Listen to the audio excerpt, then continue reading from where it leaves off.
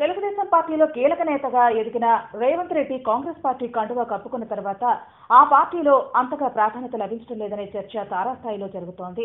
అసలు కాంగ్రెస్ పార్టీలో రేవంత్ చేరే అంశాన్ని కొంతమంది నేతలు మొదట్లో వ్యతిరేకించినట్టుగా ఆ మధ్య ప్రచారం కూడా జరిగింది.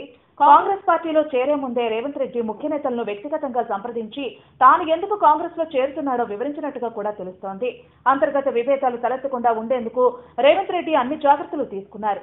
పార్టీలో చేరిన తర్వాత తలపెట్టిన మొదటి బస్సు యాత్రలో పాల్గొన్న రేవంత్ రెడ్డికి తెలంగాణ వ్యాప్తంగా ప్రజల నుండి పెద్ద ఎత్తున స్పందన లభించింది.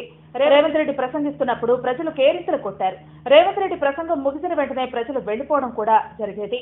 వేదిక నుంచి ప్రజలు వెళ్ళిపోవద్దని ఎన్ని విజ్ఞప్తులు చేసి వినిపించుకునేవారు కాదు. దీంతో రేవంత్ రెడ్డి ఉపన్యాసాలను సమావేశాల చివరిలో ఇవ్వాలని కాంగ్రెస్ పార్టీ ఆదేశాలు కూడా జారీ చేసింది.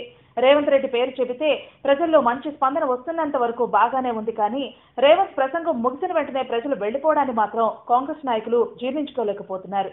మొదట విడత బస్సు యాత్రలో భాగంగా ఫిబ్రవరి ఇరవై ఆరున చేవేళ్ళ నుండి ప్రారంభమైన యాత్ర మార్చి పన్నెండున భూపాలపల్లిలో ముగిసింది. చేవెళ్ళ వికారాబాద్ తాండూరు సంగారెడ్డి కరీంనగర్ మంథని తదితర ప్రాంతాల్లో రేవంత్ పాల్గొన్న బహిరంగ సభలకు జనం పెద్ద ఎత్తున పోటెత్తారు. ఏప్రిల్ ఒకటో తేదీ నుండి రామగుండ నుండి ప్రారంభమైన రెండో విడత బస్సు యాత్రలో కూడా రేవంత్ రెడ్డి కీలక నేతగా మారారు.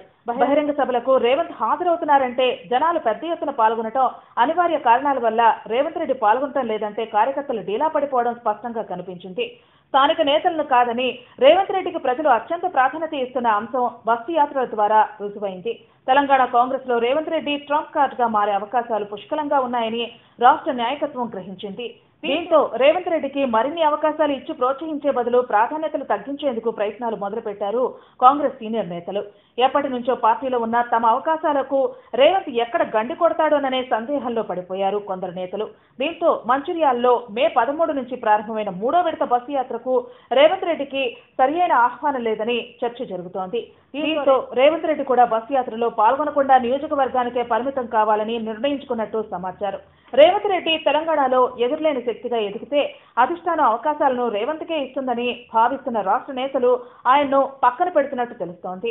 రేవంత్తో పాటు చేరిన ఇతర నేతలకు కూడా సరైన గుర్తింపు ఇవ్వటం లేదనే చర్చ కూడా జరుగుతోంది. రేవంత్తో పాటు పార్టీలో చేరిన నేతల పదవుల పట్ల పీసీసీ చీఫ్ ఉత్తమ్ కుమార్ రెడ్డి అధిష్టానానికి సిఫార్సు చేయడంలో నాంచుడు ధోరణి అవలంబిస్తున్నారనే వాదన కూడా వినిపిస్తోంది.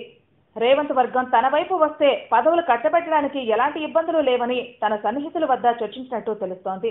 మొత్తానికి ప్రజాదరణ మెండుగా ఉన్న రేవంత్ రెడ్డి లాంటి నేతలకు పదవి ఇచ్చి ప్రజల్లోకి పంపిస్తే పార్టీని పట్టాలెక్కించి పరుగులు పెట్టిస్తాడనే అంశాన్ని పక్కన పెట్టి సొంత పార్టీలోనే కక్షపూరితంగా వ్యవహరించడం ఎంతవరకు సమంజసమని కార్యకర్తల్లో పెద్ద ఎత్తున చర్చ జరుగుతోంది.